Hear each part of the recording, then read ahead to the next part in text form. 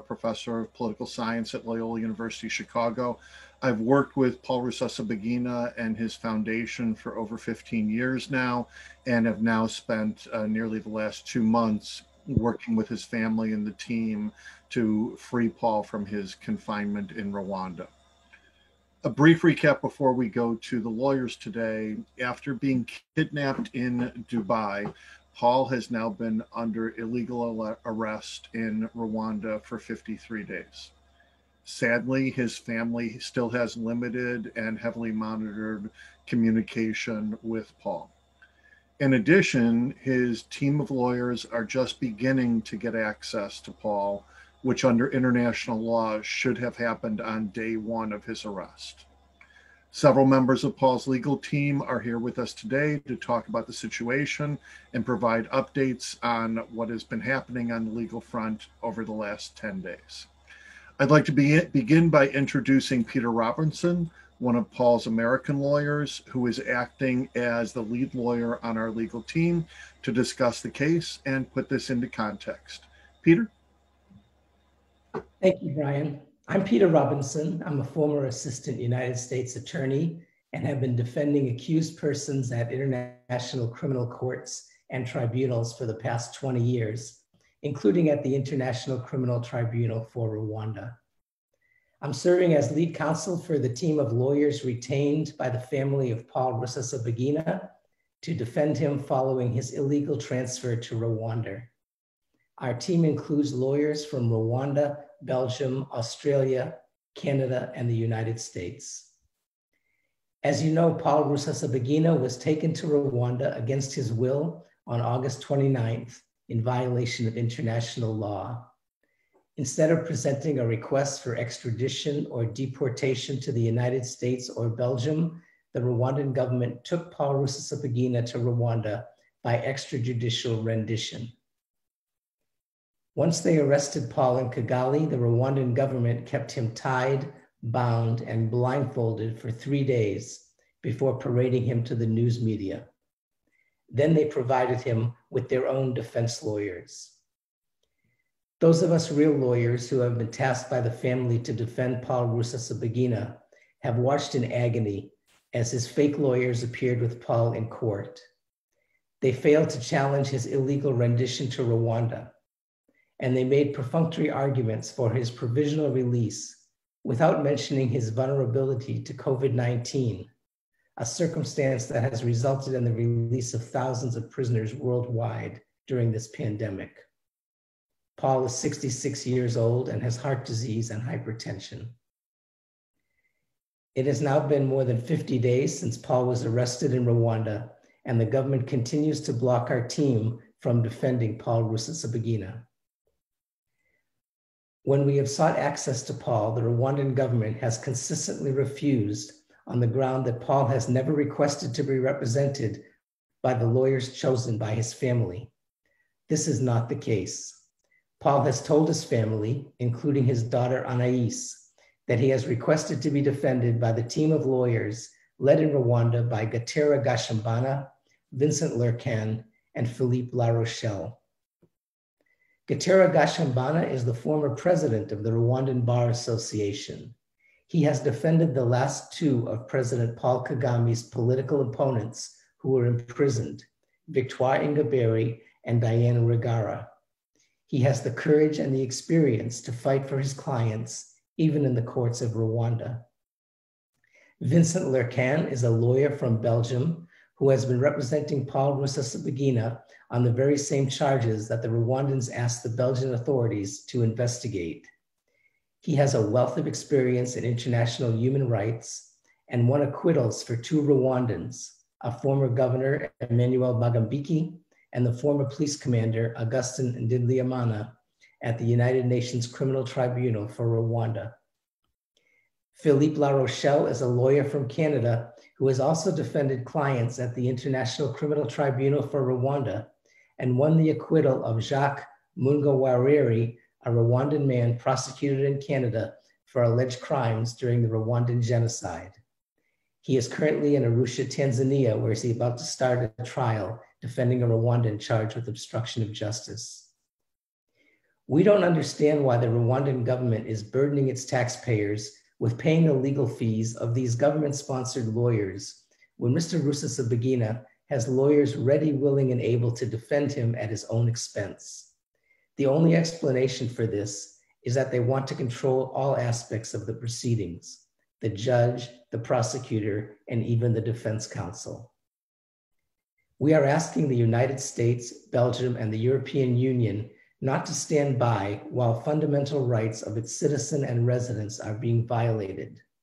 Rwanda must respect international law by returning Paul Rusesabagina to the United States or Belgium. Thereafter, it's free to make a proper request for his transfer to Rwanda via extradition or deportation, or to have him prosecuted in Belgium.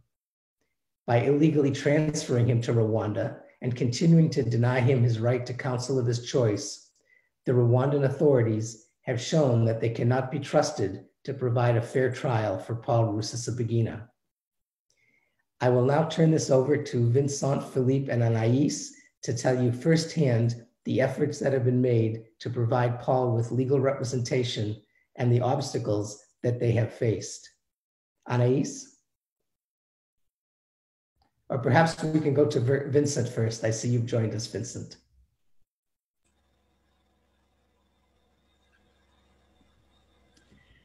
Vincent, if you could please give us an update on um, what's happened for with starting with your trip to Kigali, and Philippe will be translating for Vincent. Philippe, if you can ask Monsieur Lurquin. Yes, Vincent. Donc, comme on faisait à, à l'époque, donc des phrases euh, euh, pas trop longues pour que je puisse traduire intégralement, on va dire. Et voilà, la question est de savoir pourquoi est-ce que l'État rwandais ne veut pas que l'avocat puisse voir son client. Et donc la question qui se pose, c'est de savoir de quoi ils ont peur.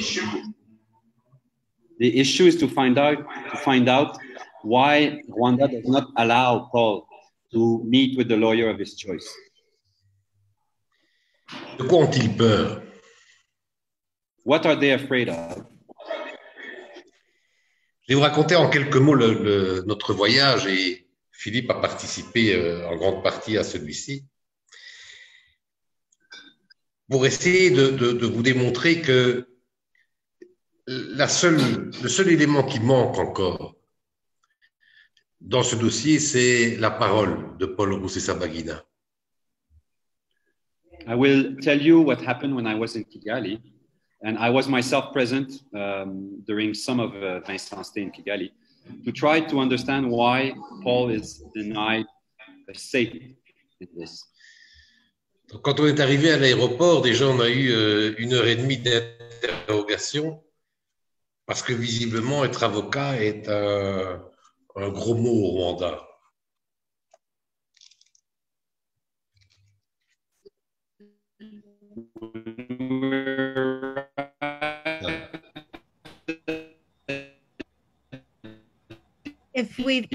Ça ne passe plus. Philippe, we may need to ask you to turn off your camera, please. Just say bandwidth. We were interrogated for an hour and a half because it's being a lawyer is already a problem. You know? Yep. If you could briefly restate that, we lost you for a moment. Il y a des problèmes. Moi, je n'entends plus. Moi, j'entends. Voilà, on peut continuer parce que moi, j'entendais plus. Moi, je suis. Already, already when you arrived. So uh, Vincent was interrogated for an hour and a half when he arrived in Rwanda. Apparently, um, being a lawyer seems to be a problem over there. Quand on arrive euh, à la douane, on vous demande quel est votre nom, quelle est votre profession. Et quand on a dit que l'on était avocat de euh, Paul Rousset-Sapagina, directement, on vous a repoussé hors de la file et on a attendu une heure et demie avant quand même de vous laisser passer. So when I arrived at the custom, I stated my name and my profession. I said I was a lawyer and what that was sufficient to um, have me kicked out of the lineup and put aside for an hour and a half for examination. Ça, évidemment, c'est pas grave, mais l'ensemble du climat de la semaine qu'on va passer au Rwanda est un peu ce climat de, de suspicion sur le fait de dire euh, Sabagina, c'est un nom dont on ne doit pas parler au Rwanda. So being put aside for an hour and a half doesn't matter in itself, but what I learned from this is that it seems that Roussé Sabagina is a name that cannot be um, said in Rwanda. Moi, je suis un avocat belge. I'm a Et j'allais voir lawyer, dans le cadre d'une procédure belge. and I I already represent him in Belgium. So I was going to see him in Rwanda within the framework of uh, my case in Belgium, where avec un juge d'instruction belge, where I already represent Roussé Sabagina. There is an avec a un juge d'instruction in belge et un procureur belge. So there is a judge in Belgium, there is a prosecutor in Belgium. Pourquoi est-ce que l'avocat belge de l'accusé, qui est belge aussi, puisque M. Roussi Sapagina a la nationalité belge, Why is a Belgian lawyer of a Belgian citizen, because Mr. Roussé Sabagina is a Belgian citizen, ne pourrait pas voir son avocat? is why is Mr. Mr. Roussé Sabagina prohibited from seeing his lawyer, Maître Lurquin? D'autant plus que la procédure en Belgique a été demandée par les autorités judiciaires rwandaises. And it's worth outlining that the, the procedure in Belgium was started at the request of the Rwandan authorities. Ça fait près de deux ans qu'on essaye, qu'on interroge M. Roussi Sapagina en Belgique et que je l'assiste pour essayer de prouver qu'il est coupable de quelque chose. It's for, for two years now, the Belgium authorities have been examining Mr. Roussé Sabagina to try to demonstrate that he did something wrong. And I was, I have been assisting him throughout this process. La dernière audition qu'on a eue devant les enquêteurs belges participait également le procureur général de Kigali et son adjoint. During the last of these hearings, the Attorney General of Rwanda and his um, Prosecutor. joint were present during the examination of Mr. Prosecutor. The, well, the, the prosecutor of, um, there was a prosecutor from Kigali. Et ensemble avec la justice belge, ils interrogeaient M. Roussi Sabagina.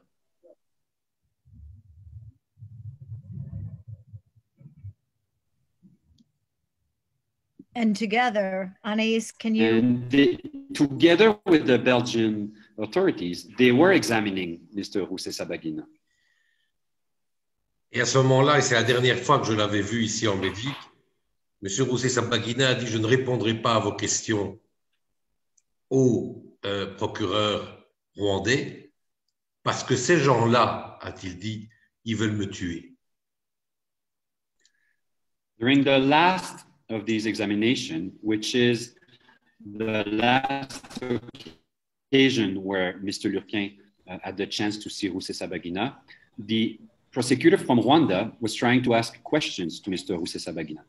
Mr. Mr. Sabagina answered them, I will not answer your questions because I know you want to kill me.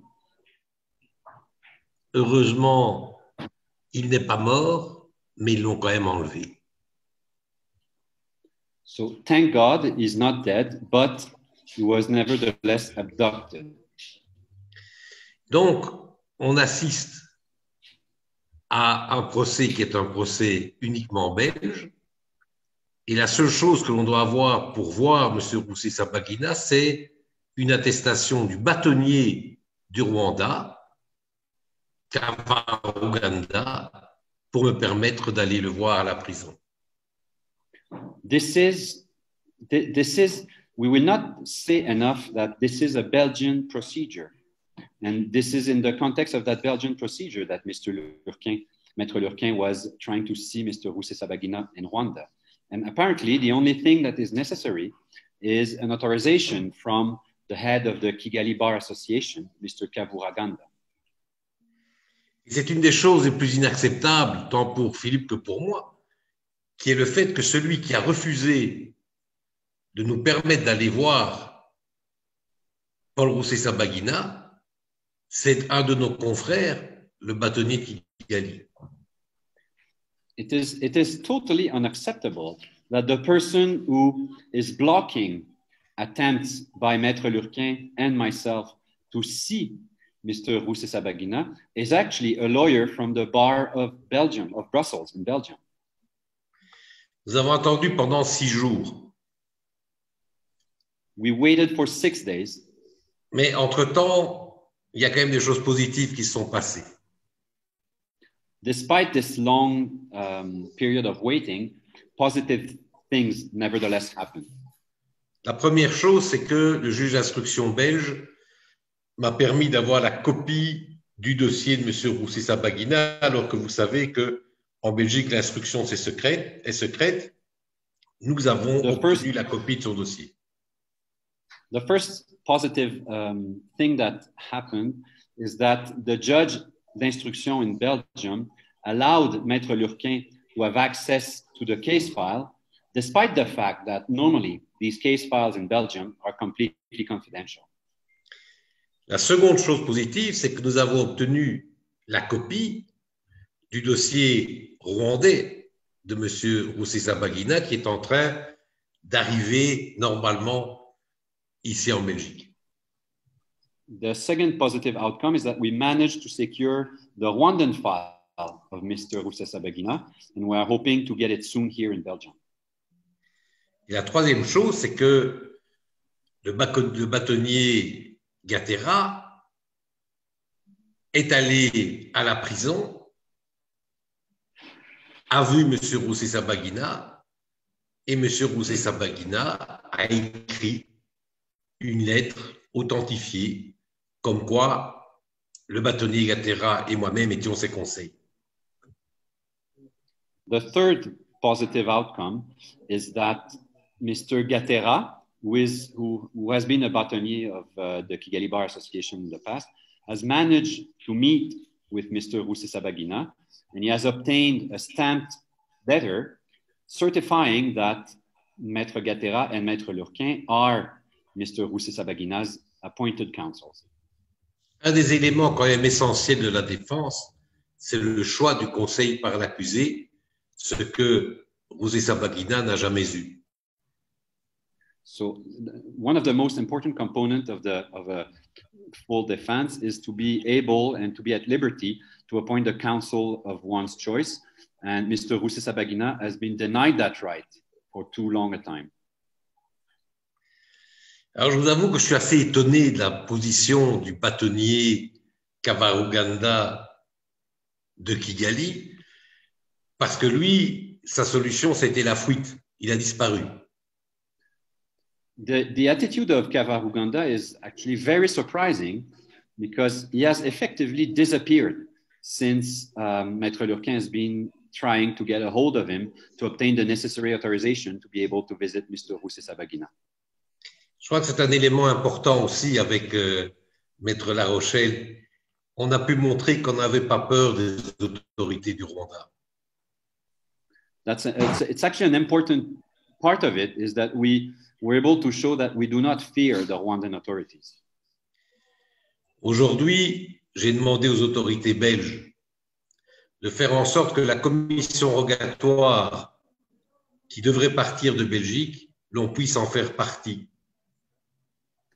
Today, I have asked the Belgian authorities to be um, to be a member or to be included in the rogatory commission that um, that is ordered by the Belgian authorities. Il n'est pas possible dans le débat judiciaire que vous n'ayez qu'un juge, un procureur, un procureur du Rwanda et que l'avocat soit exclu de ce débat judiciaire. Et donc, je crois effectivement que dans une quinzaine de jours, on va pouvoir retourner au Rwanda, mais là pour revoir Paul Roussé-Sabagina.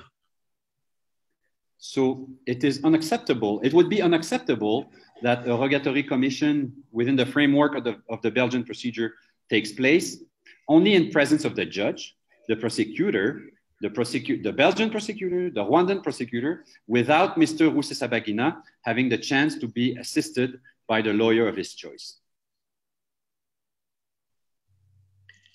Et donc, je pense que, effectivement, d'ici 15 jours, trois semaines, on pourra retourner au Rwanda avec la commission rogatoire et là, on verra euh, Paul Rusesabagina.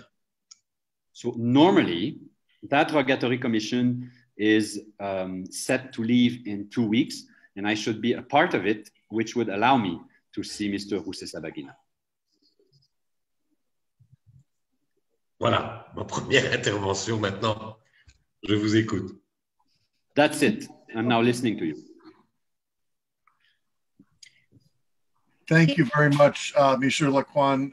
Uh, Philippe, if we can ask you to give a little bit of an update too, since you were also in Kigali, and let us know the issues that you ran into in Kigali. Um, just to complete a little bit the, the picture that Vincent has described, I, I myself got to Kigali um, a week or 10 days before Vincent arrived in Kigali. I was going there as part of this uh, trial here in Arusha that Peter has mentioned earlier.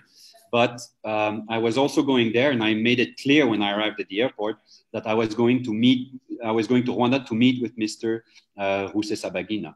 So the, the reaction of the custom officer was to exactly like uh, what happened to Vincent, to um, put me, um, to ask me to leave the line and to wait for people um, because people would like to speak to me, um, not mentioning what, what they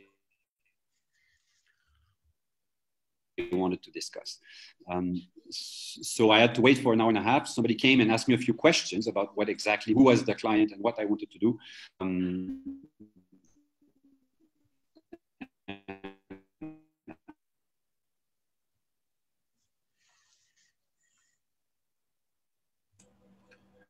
Philippe, unfortunately, we're losing your audio. Brian, why don't you introduce Anais and we will come back to Philippe if his microphone comes back on. Great, thank you. Um, I'd like to ask Anais Kanimba. was finally uh, allowed through. I also had uh, for my mission uh, to enter Rwanda.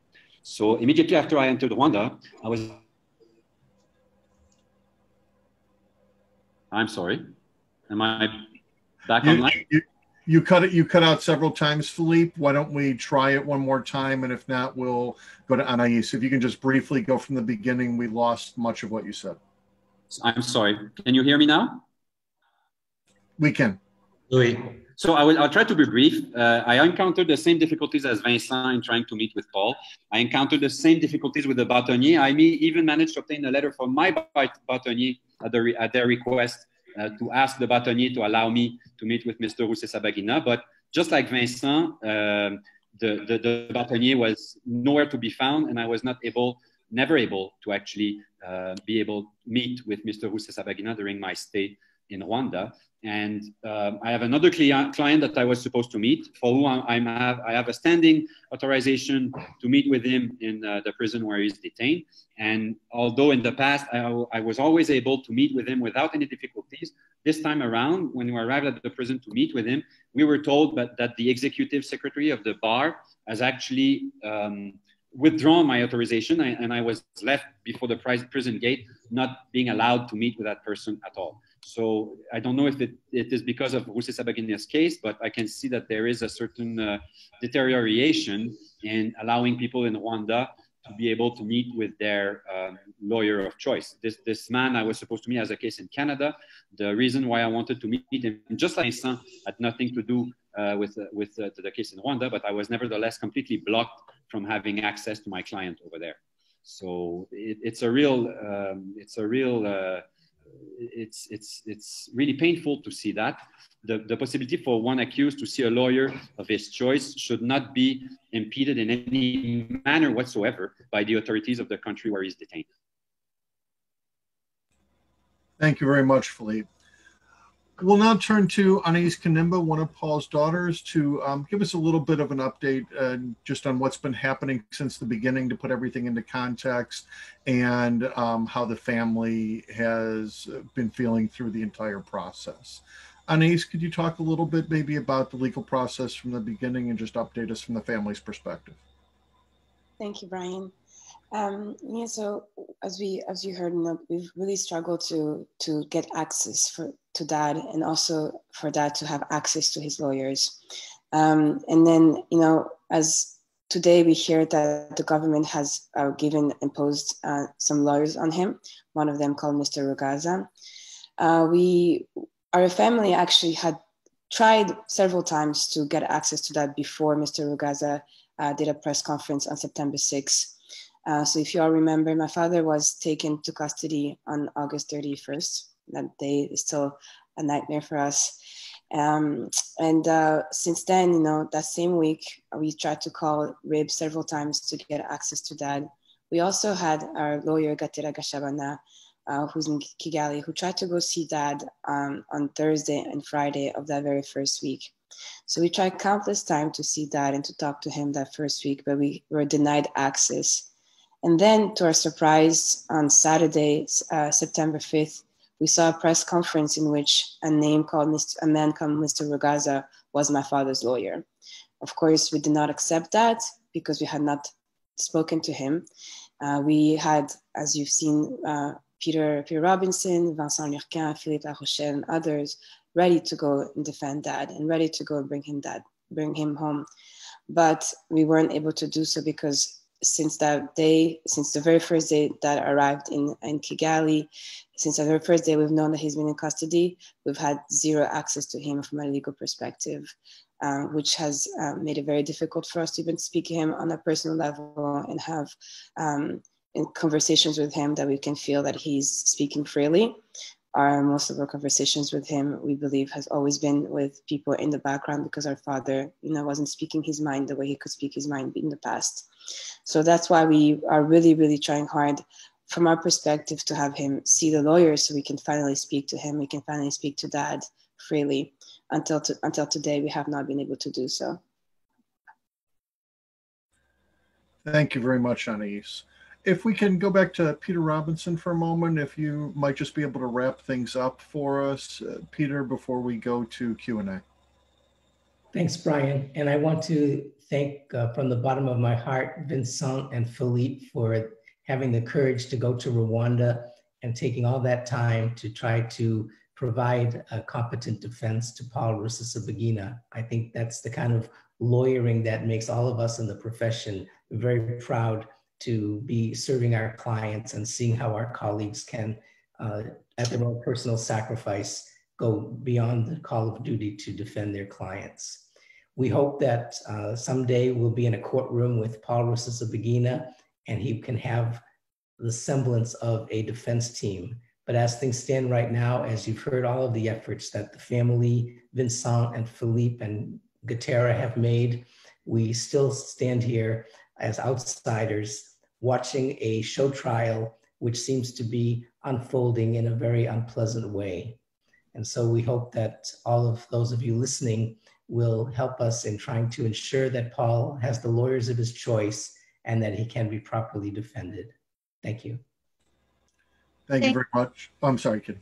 Thank you very much. Um, we are now going to open to any questions from the media.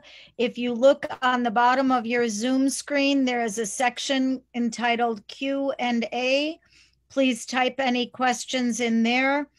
I think that our presentation today has shown that despite the fact that many well meaning people and groups have called for uh, uh, they have called for a free and fair trial for Paul Rusesabagina. I think everything that we've shown and told you today demonstrates that the likelihood of there being any kind of fair trial is zero to none. Um, we have our first question that I would like to um, that I would like to ask, and the um, the first question is: is there any news from the Belgian government?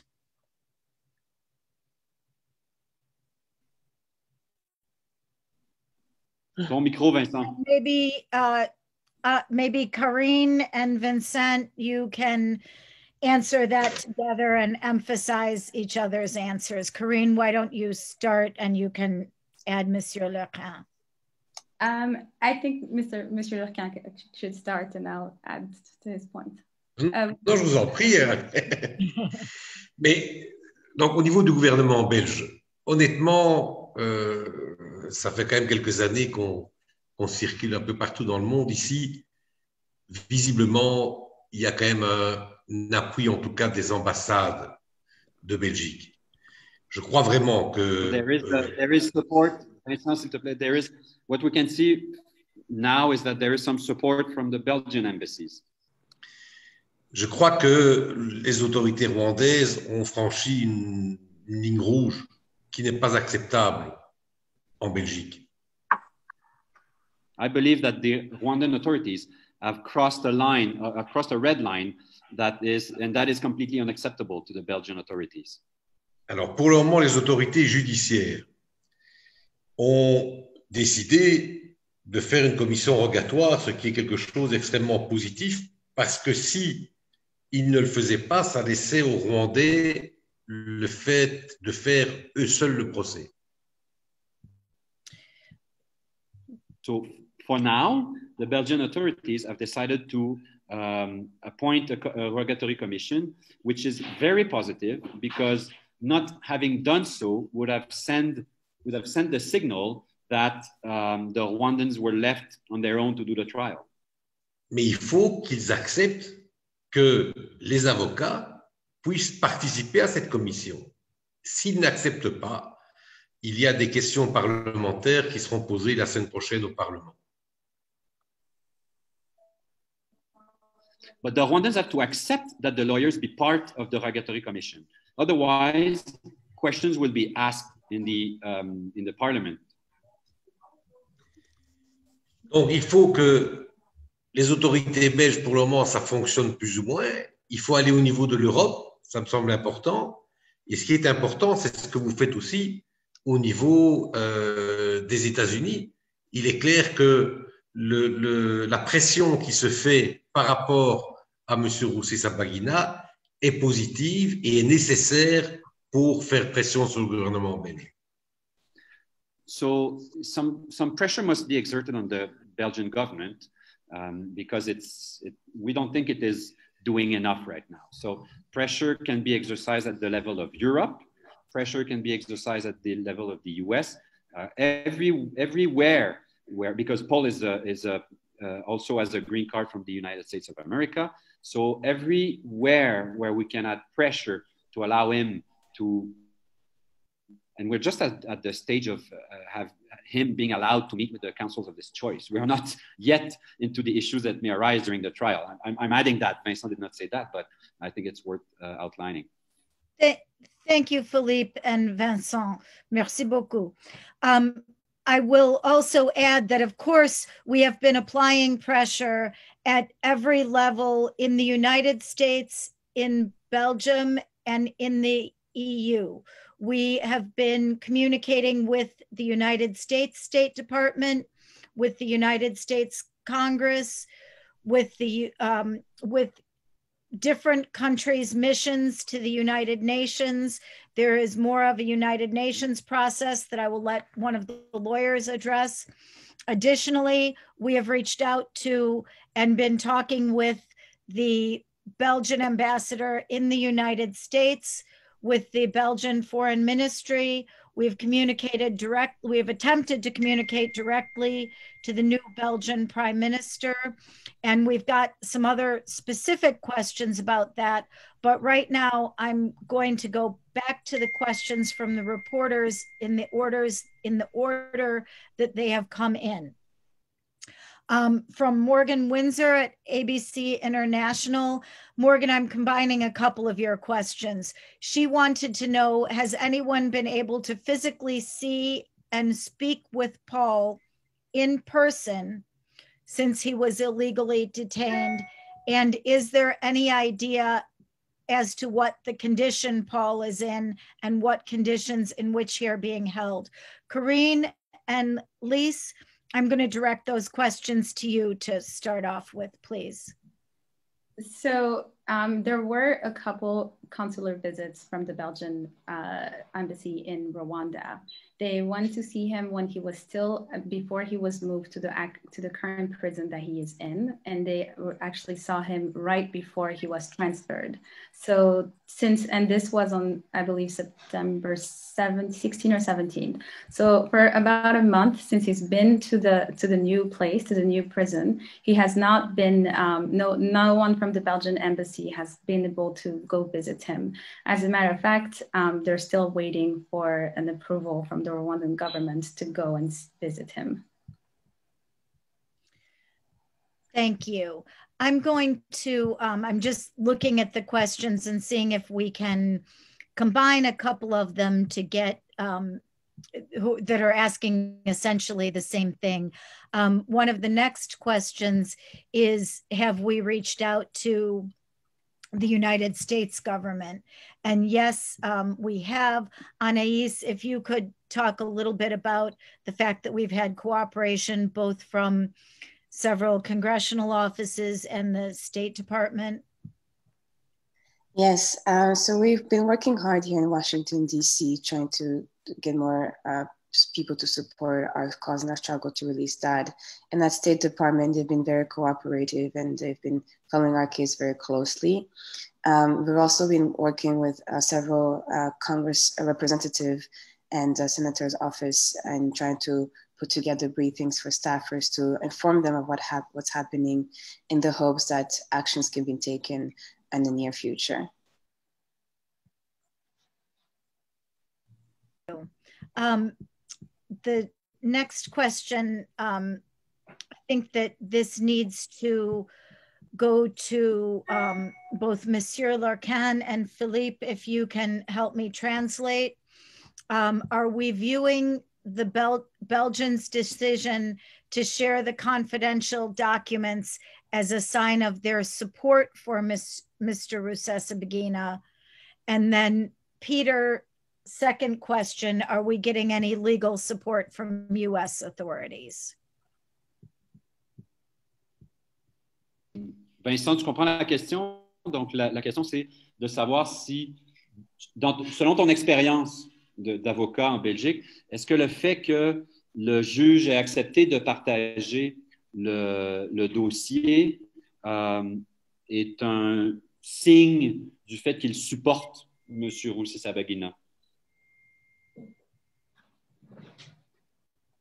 Qu'il supporte, ça c'est peut-être un grand mot, mais en tout cas qu'il pense que la procédure euh, n'est pas tout à fait normale par rapport à son arrestation, ça c'est évident. Je crois que les juges en Belgique ont cette interrogation du fait de savoir s'ils ne, sont pas, et c'est rare pour un juge de dire ça, instrumentalisés par le pouvoir rwandais. Et une des... Enfin, dites peut-être déjà ça. So it is, it is actually something very important, the fact that they um, allow Maître Lurquin to have access to the file. There might be a fear from the judges that they are being instrumentalized by the Rwandan authorities. So um, it is it is not a form of support. I don't think the, the, the Belgian authorities will support necessarily Mr. Rusesabagina, but it is clearly an indication that they do not support the kind of procedure and the way he has been abducted and the way things seems to be unfolding right now. Mais il ne faut pas sous-estimer le pouvoir du pouvoir rwandais en Belgique, parce que je suis parti samedi et le jeudi, ils ont arrêté trois Rwandais, dont mes don't underestimate, don't underestimate the influence of the Rwandan authorities on the Belgian authorities because I left on Saturday and the following Thursday they arrested three Rwandans in Belgium, two of whom are my clients. C'est un dossier qui était ouvert il y a cinq ans, où mon client n'avait jamais été interrogé. Et ils ont décidé non seulement de l'interroger, mais de le mettre en prison deux jours avant qu'on ne pas pouvoir poser sa vagina. Donc, ne sous-estimons pas l'adversaire. Let's not underestimate the opponent. We are talking here of a file which had been inactive for five years, and the client had never been examined for all this period. And all of a sudden, he's not only examined, but put into prison. So let's not underestimate the opponent. Monsieur Lurquin, do you think that the arrest of the Rwandans in Belgium was retaliation for your representing Paul Rusesabagina?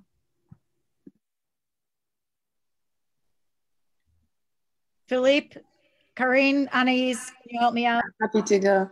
Euh, Vincent, est-ce que vous pensez que l'arrestation de, ces trois Rwandais euh, dernièrement, euh, est-ce que c'était en réponse euh, au, au, fait que mon père a été arrêté au Rwanda et est-ce que Kagame est en train de faire aujourd'hui? Il n'y a personne en Belgique qui croit le contraire, mm -hmm. évidemment.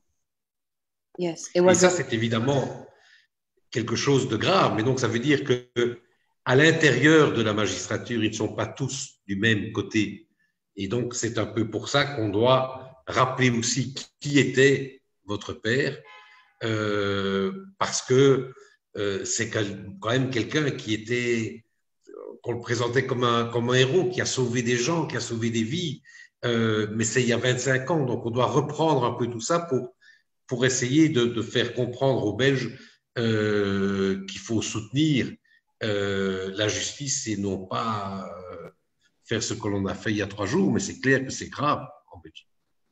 Yes, it is evident that uh, this was a retaliation on the fact that uh, Dad and the Belgians are trying to support Vincent in uh, seeing my father in Kigali. And so this is clear. In Belgium, it's clear that the Rwandans are retaliating uh, and because of the arrest, and also using the political pressure to do that.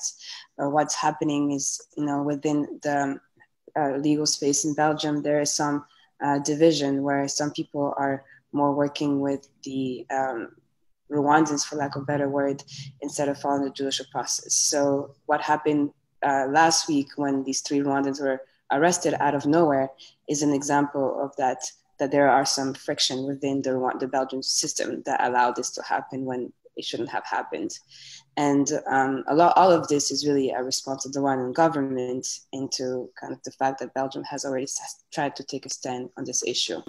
It is important to know that, you know, what my father is known for is um, is what he's heroism, his what he did in the during the genocide that was over 20 years ago and so in Belgium, and he's known to safe, saved people. He's a good man, a man of principle, a human rights advocate. But people in Belgium need to be educated to learn about that. Not all of these people know. So within the judicial system, people don't understand the context that we're working in, and have some of this have allowed um, the arrest of these three people. But at the same time, there's also parts of the system that it's supporting and that wants to do the right thing, as in um, the, the rogatory commissions and other things like that. Thank you, Anais. Um, the next question is for uh, Peter Robinson. Could you comment, and it comes from Sophie Neiman, a journalist who's been covering this situation closely. Could you comment from a legal perspective about the um, decision, although I think technically it was a suggestion, not a decision, to merge Mr. Rusesabagina's trial with that of 18 alleged members of the um, FLN, the Front, Nas- Front Liberation Nationale. And what does this mean for the case should it go forward in Rwanda? Peter, if you could take this one. Yes, thank you, Kitty. There has been no decision to merge the cases yet, but the prosecutor general has announced his intention to seek to have those cases merged. That requires the approval of the court, and that has not yet been applied for or has been granted. The procedure that we'll be seeing over the next few weeks is that charges will formally be lodged against Paul Rusesabagina, and he will be brought to court to answer those charges. At that time, the issue of joining his case with others will be discussed and debated and decided. But at this stage, uh, his case is proceeding on its own. Can we talk a little bit just about the logistic, the problems logistically that any merging of cases would bring up. And Brian, maybe you want to take a take that. Yeah, thank you, Peter. Thank you, Kitty. E- even logistically, Rwanda right now is a country that is under COVID lockdown. They have a um, curfew at 6 p.m. every night. The courts were completely closed and everything was done on video up until Paul's case. They actually cleaned out a courthouse and sanitized it, we understand, before Paul's case. It is a very small courthouse and a very small courtroom at this point in time, it doesn't seem it would even be logistically possible to have 18 defendants plus Paul, plus all of their lawyers, plus the judges, plus the prosecutors in one place at the same time. We have no idea even physically how that would work, much less uh, the legal details and consequences. So that seems like a, a very um, strange situation for the legal system to be putting itself in right now. Thank you, Brian. And the next question comes from um, uh, Radio or Maury, and pardon me, Monsieur, uh, from the radio station, if I butchered the name, I did not intend to. Um, and this goes back to the the origination of this whole situation, the kidnapping, the arrest, um, the hijack, the he hi, well hijacking of the plane, or at least hijacking of Mr. Rusesabagina, who got onto a plane and did not know the destination. Um, could you please talk, uh, Peter, about the illegality of the arrest, the kidnapping, Mr. Rusesabagina being held for three days, locked up and blindfolded so that he didn't know where he was? Could you talk about is that a normal way for a Belgian citizen to be taken from his country into Rwanda to stand trial? Is this normal? Is this the way they've held they've dealt with other Rwandan cases abroad? Yeah, I think the answer is obvious um, that it's not only abnormal but illegal. So if you have a person residing in another country, you, you can obtain that person for criminal charges through extradition or deportation. And Paul Rusesabagina was living in San Antonio uh, throughout the whole COVID 19 uh, pandemic. And so, if the Rwandan government wanted to legally obtain him for prosecution, they should have made a request to the United States government to either extradite or deport him. The United States government has granted deportation almost every time Rwanda has asked when they have sought people for cases involving involvement in the genocide. So if there was a legitimate case against Paul, it could have been presented to the United States authorities and they would likely have extradited or deported him if it was a bona fide case. But instead, they didn't do that. Instead, they lured him to a place where they could take him by force and bring him to Rwanda, which is completely illegal. The remedies for that are normally before the court in which you appear. So you would, when you go to court in Rwanda, you would say, I've been arrested illegally. I need to be released. This prosecution is null and void. That wasn't done because he doesn't have lawyers who are fighting for him. And so the lawyers never brought up that issue before the Rwandan court. We have uh, already made a complaint to the United Nations Special Rapporteur on Torture concerning the way Paul was treated uh, after his arrest, as you mentioned, being tied up and blindfolded and kept incommunicado for three days. We plan to make further complaints to the United Nations Working Group on Arbitrary Detention to ask for a finding that his arrest was illegal and his subsequent detention remains illegal to this day. We also have some other ideas of other courts that we may try to go to to get some relief from this illegal arrest. Thank you. And I would like to add that we haven't forgotten that GainJet bears some complicity. GainJet plane, a GainJet plane transported him. D- the Dubai airport has not let any tapes be released of him getting on the plane. The Kigali airport has not shown any tapes of him getting off the plane. We don't know who was on the manifest. We haven't forgotten that GainJet has questions to answer. We hope that the media also has not forgotten that GainJet has questions to answer. Additionally, the Dubai government really has never said what happened at the airport, or the UAE government has not said what happened in the airport in in Dubai. And this is not the first time that a Belgian citizen has disappeared from the airport in Dubai. There's more examination and more investigative journalism that needs to be done relative to both GainJet and the airport in Dubai. Um, additionally, we've had questions about what have the Belgians done when we've asked them why haven't the Belg why hasn't the Belgian government been stronger in demanding that their illegally arrested resident be returned home? And Anais and Carine, I'd like to direct that one to you since you have been talking with the Belgian State Department. So the Belgians are still looking into the kidnapping. Um, apparently, they need more evidence of that be of the of how he got to Rwanda. In addition to that, um, they are the Belgian government. The Bel- Belgian didn't have a government up until October 1st. So a lot of the, the, the processes have been stopped in relation to the Belgian taking a position, the public position on the matter, and um, and they're waiting for for the cabinet of the of the new prime minister as well as the full government to be formed in order to further investigate the case and make a decision.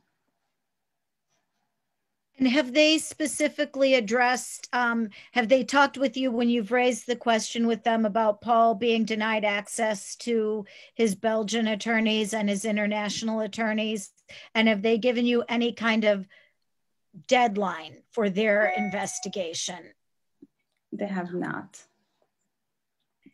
And have they given you any idea about what other facts they need to learn before they will move.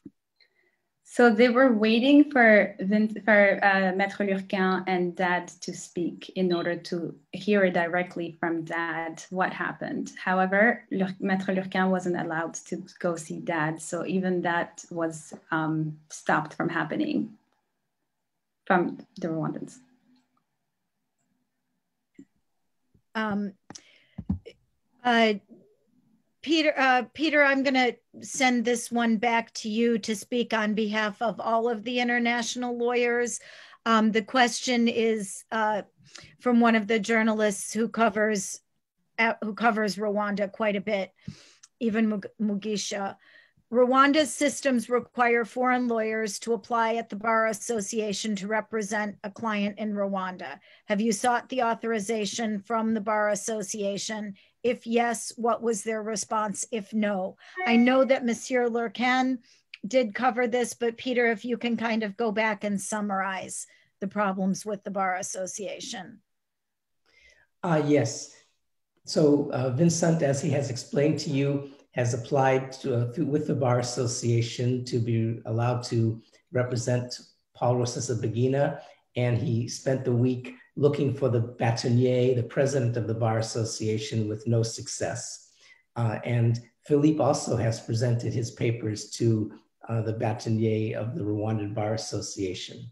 The rest of us intend to do that once Gatera Gashabana is accepted as the lawyer for Paul Rusesabagina and we can join their, that team. Thank you. Mais comme, comme Philippe l'a dit également, donc son bâtonnier est intervenu. Le bâtonnier de Bruxelles est intervenu de manière très claire quand j'étais au Rwanda. Il demandait une série de documents qu'on lui a donnés et le bâtonnier a demandé que le bâtonnier Ouganda nous aide à voir M. Rossi Sabagina. Donc, effectivement, l'ensemble des autres bâtonniers pourraient peut-être faire pression. So, both the bâtonnier of the Quebec bar and the bâtonnier of the Brussels bar intervened with Kavaruganda, the bâtonnier of the Kigali Bar Association, to request the, the necessary authorization for us.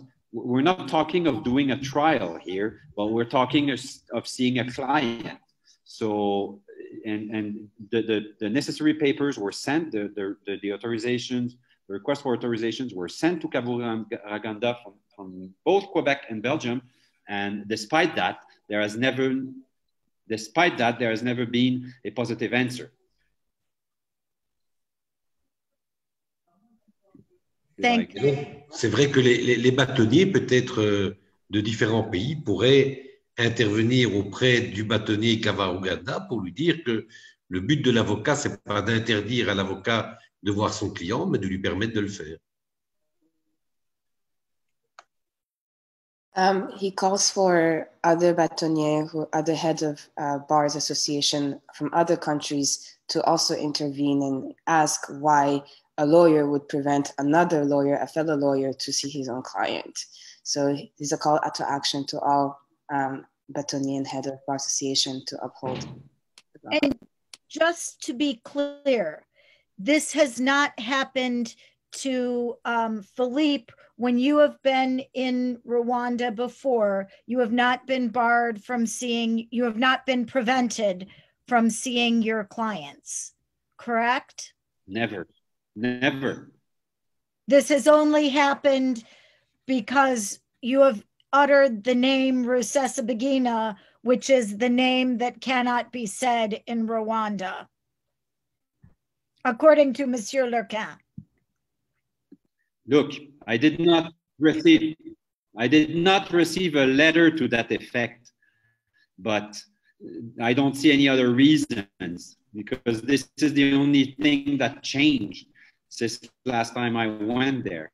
Just for Maître Lurquin, since five years that has that his client has been freed, the only thing that changed in the meantime is the fact that he was uh, appointed by the family of Mr. Rusesabagina to represent him. So, of course, he did not receive a letter from the Rwandan authorities telling him that, you know, uh, but, you choose to represent Mr. Rusesabagina, you have this kind of problems, but there is a clear link um, between the two. I just note of moderator privilege. I am not, can't go to Rwanda because the president has said that I must be killed. But I have heard that in the Hotel Mille Collines, if you go to the gift shop, there are no copies of the movie Hotel Rwanda in the gift shop. Paul Rusesabagina's book, An Ordinary Man, is not available in the gift shop of the hotel that he saved during the genocide, along with those 1,000 8,268 people. And I have also been told that if you ask about Mr. Rusesabagina in the Hotel Mille Collines, the staff will look very scared and turn away from you. I've only heard this. I don't know it to be true, but I think that based upon Monsieur. I did not ask. I don't know that Vincent did ask. We've heard this from a few people over the years, and I apologize for my digression, but I think that it's further illustration of the fact that this is not a normal trial. This is being done for retaliation and as a political move against a humanitarian who has spent the last 15 years speaking out on behalf of people who have had their human rights violated, journalists who have been killed, political dissidents who have been jailed. And I think we know that that's why this trial is being handled the way it is. Brian, I'm going to throw it back to you for wrap up. Thank you very much, Kitty. I'm going to pick up where Kitty left off there and um, just go through this a little bit more to bring things together. From a legal perspective on this case, Paul Rusesabagina was kidnapped in Dubai. He was brought by illegal rendition to Rwanda against his will. That is illegal under international law. he was arrested and is being detained illegally in Rwanda. Again, illegal under international law because he was not brought there legally. That is the absolute center point of this case. Paul Rusesabagina simply should not be there. Any of the other legal issues should not be discussed in that context. We'll go beyond that though, and we have spoken beyond that today. That's still the primary issue.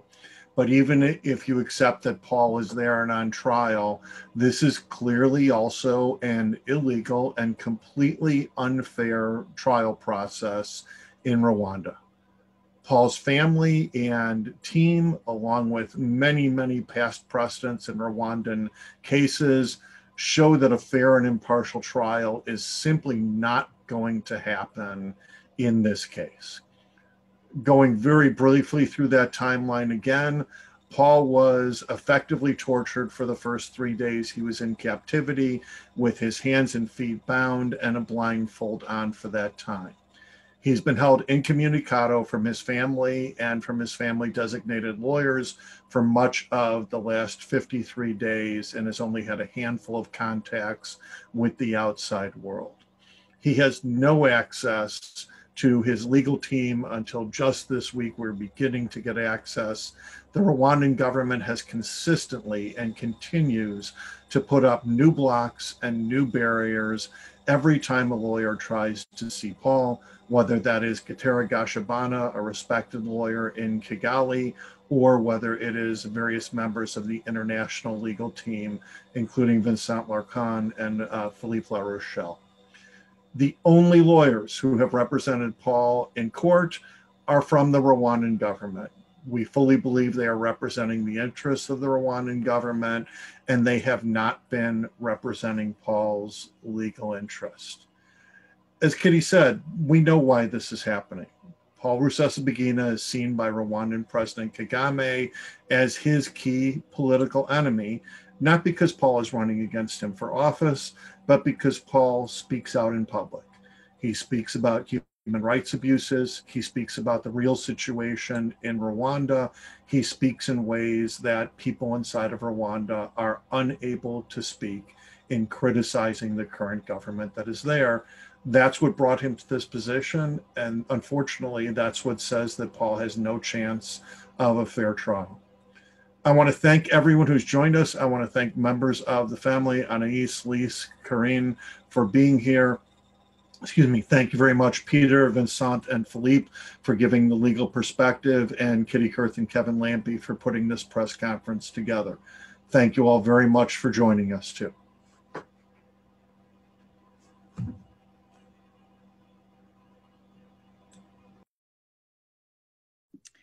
Thank you and goodbye. If you have any further questions, you can send them via email. We appreciate your attention and your covering this matter. Thank you very much.